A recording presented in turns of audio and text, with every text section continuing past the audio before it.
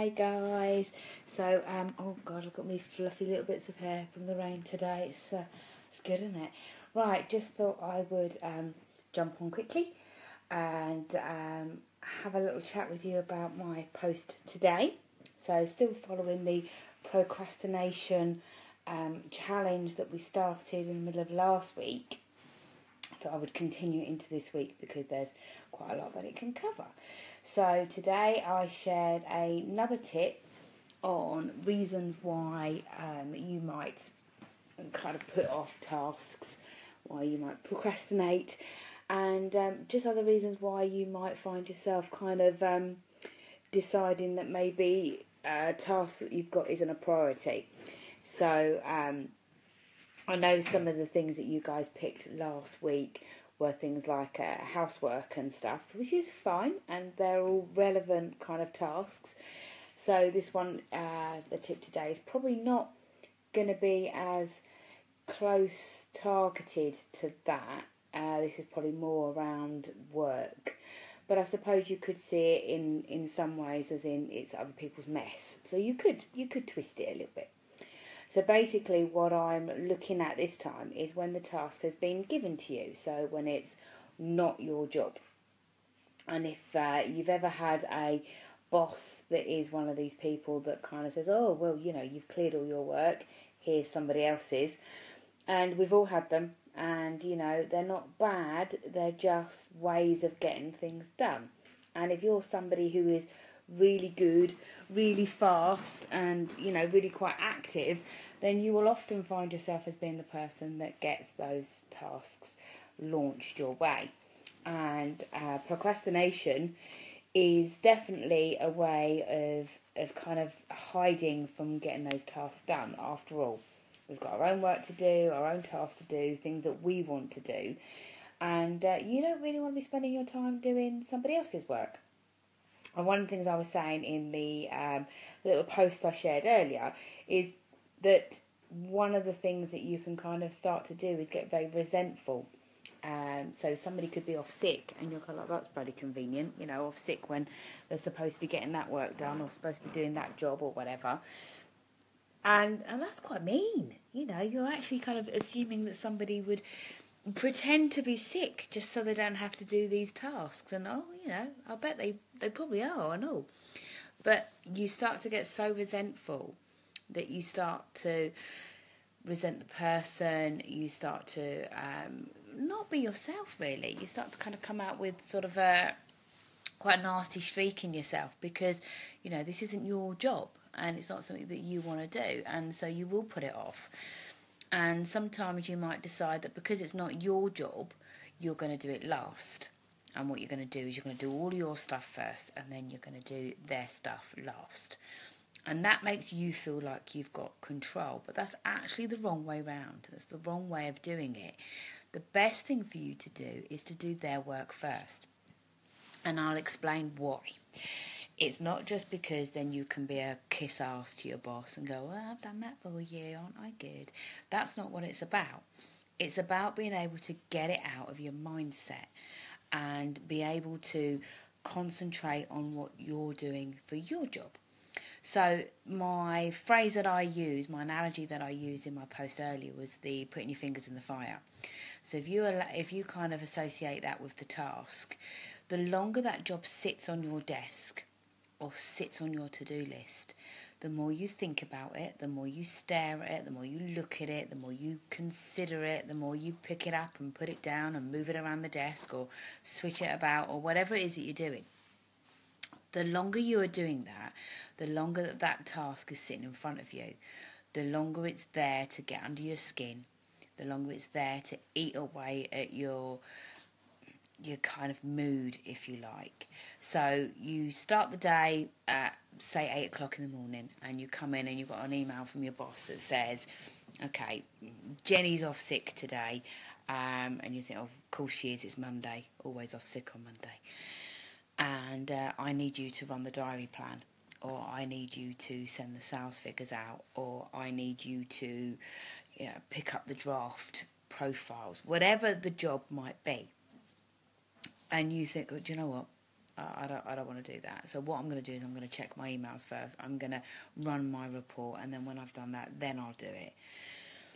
But the whole time you're running your report and the whole time that you're checking your emails, you're stewing on Jenny's job and you're stewing about how your boss has asked you to do it again and you're stewing on the fact that she's off sick and it's Monday again and you're stewing on all of these negative feelings.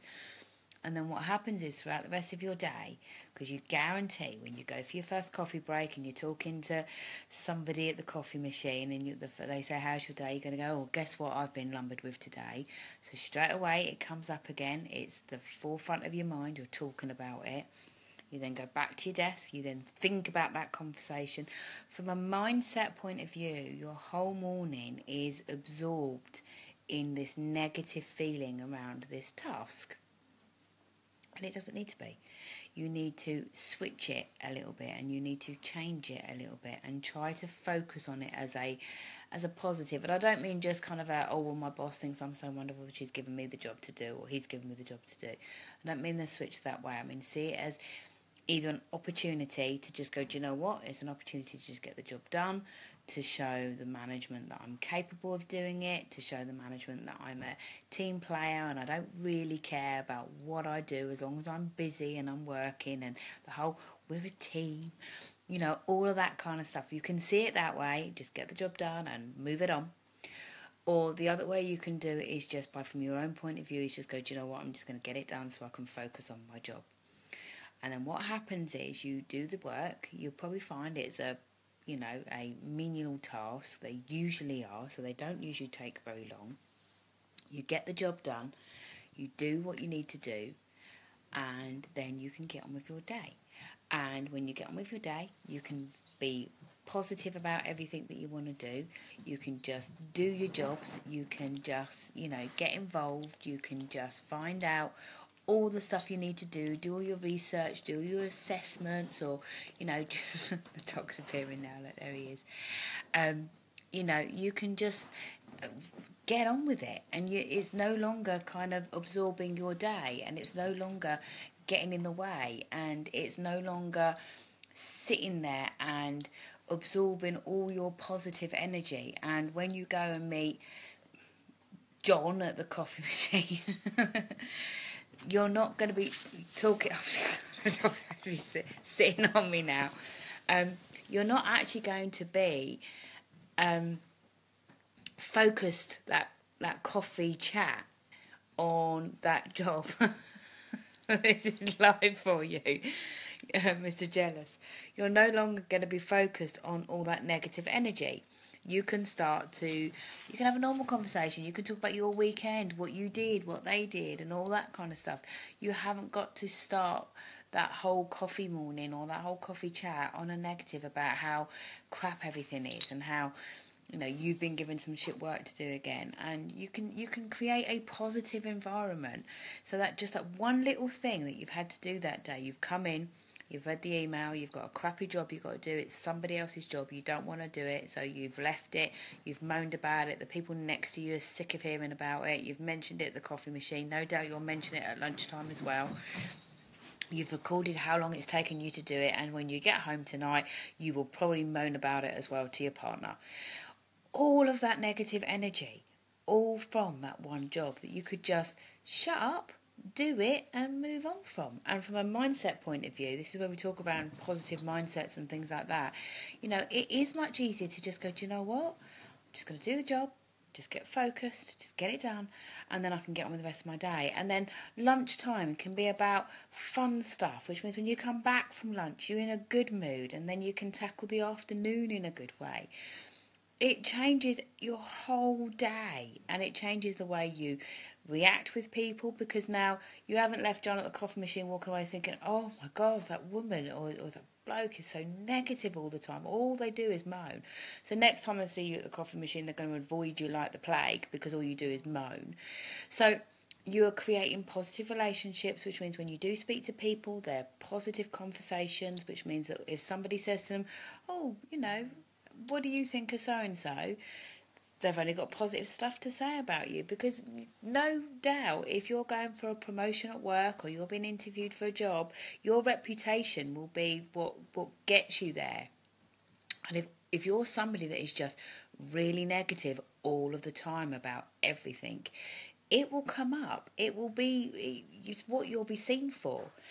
And I know kind of we talked about procrastination as just being a sort of a, a putting work off but it's not always. Sometimes it's about the reasons why you're putting work off. And one of the big ones is because you resent the task, because it's not your job. And a little while ago, I posted a poem.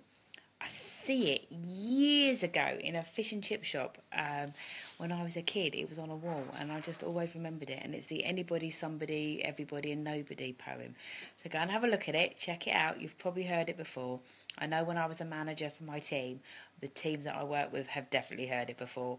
Um, they've probably heard this kind of live moaned at to them as well before because this is definitely something that I used to talk to them about as my team was, you know, quite often we would have lots of other people's work to do for lots of different reasons and they would be there'd be one half of the team that would, you know, kind of moan and complain about doing it, and the other half of the team that would say it's done, it's there, it's gone. And believe me, the the team side that just got on with it and just did it and moved on from it and then got on with their own work were always so much more happy about it. Whereas the people that complained and moaned about it, they were right to kind of moan because they were fed up with getting other people's work. But it took time. And they, you know, I used to joke and say the time it's taken you to complain about it, you could have actually just done it, you know. And and they'll you know for those of them that are in the group they'll recognise this and they'll remember it and you know they may well moan about it. But you know it was true. I wasn't just saying it because I was their manager and I wanted them to just do the work. It really is true. You know the more you complain about a subject the longer it takes you to do it because the complaining becomes part of the task. So if you just get it done and just move on and just get on with your day, then you haven't sat there with your fingers in the fire for ages. You're not allowing that fire to consume your whole body. You know, you're a bit pissed off. And yeah, you're entitled to be a bit pissed off. There is nothing wrong with feeling a little bit pissed off about something like that. But it's how you allow that, that feeling to infiltrate your day. Do you feel pissed off, get it done, and move on? And then you can have a, a positive day or do you feel pissed off and you hang on to that and you that becomes your anchor and that becomes everything you feel that day because you will transform that into every other task you do You'll pick up the phone to take a call and you'll be negative and your customer service will be less and you'll be grumpy. People won't want to really come and talk to you because you're in one of those moods again. Guarantee people have those feelings because if you've done it once, you're probably someone that does it a lot. So, one of the big tasks that you can do is just change your mindset, change the way you tackle the task. So, if you are given a task to do that you don't want to do, one of the best things you can do is just suck it up, get it done, and move on from it. Because the sooner you get shut off that task, the sooner you can join the rest of your day.